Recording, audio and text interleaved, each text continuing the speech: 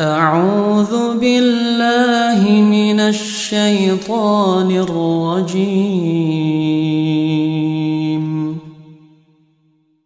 بسم الله الرحمن الرحيم.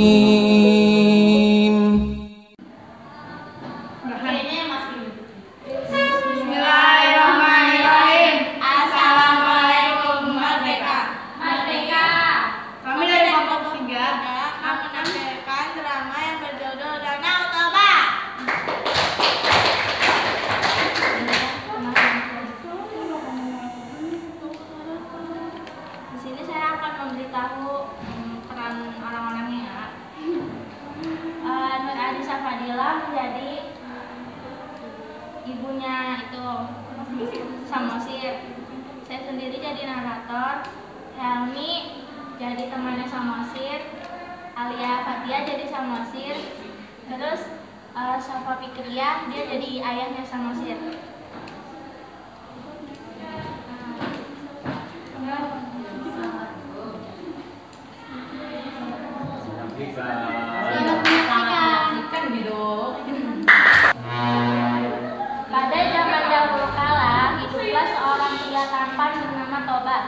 Dia adalah seorang nelayan yang rajin memancing mencari ikan di danau, di danau dan hidup sendiri. Pada suatu hari, ketika memancing di sungai, Toba mendapat seekor ikan yang sangat besar.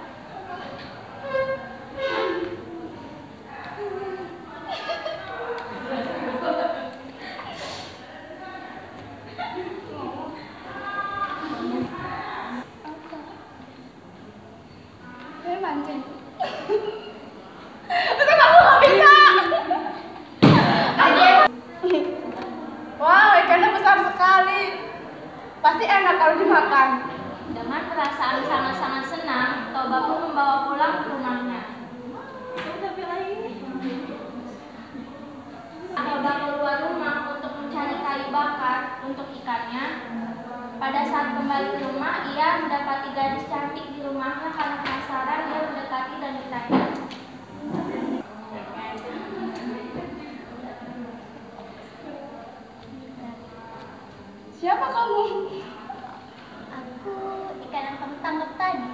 ngapain di sini?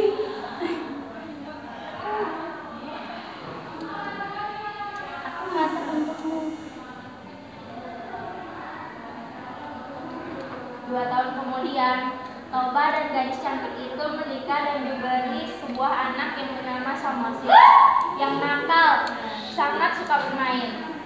Saat menyuruhnya untuk membawa makanan kepada ayahnya di siang hari.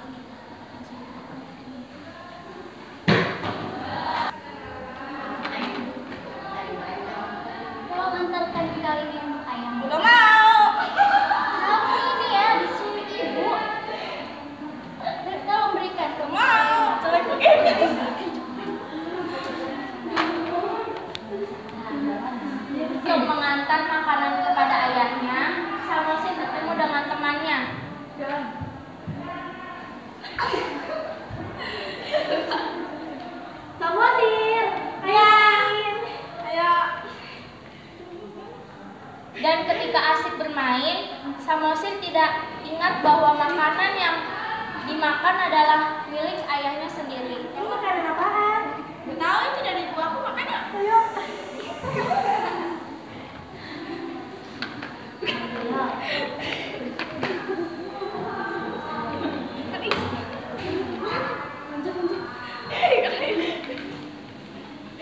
Udah, udah, udah.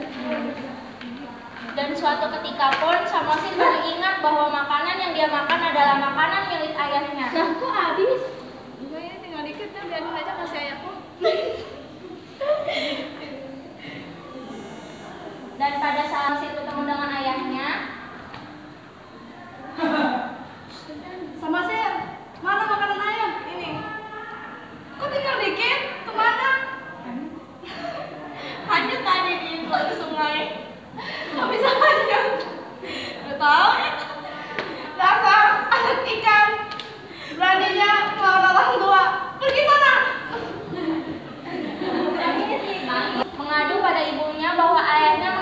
dia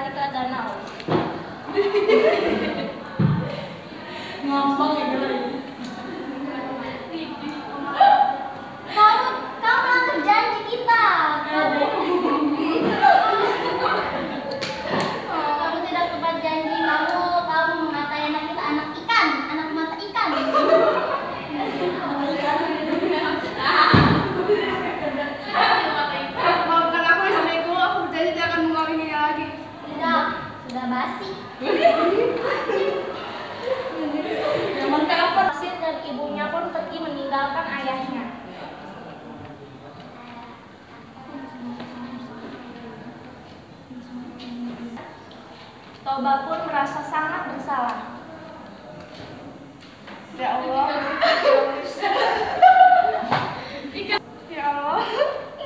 Maafkan aku karena aku telah melanggar janji-janji ini. Akhirnya kamu hujan deh. Akhirnya Dilanda bencana gitu akhirnya Toba pun dilanda oleh hujan dan gempa. Ya, itu kan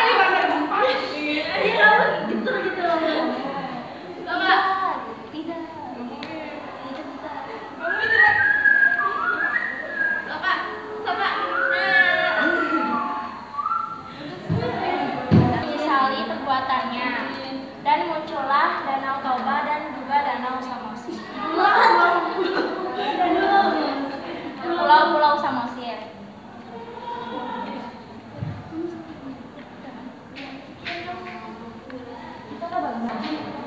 Pesan moral menurut Pak ini adalah pertama, jangan ingkar janji apabila kita sudah berjanji. Yang kedua, jangan pernah melawan orang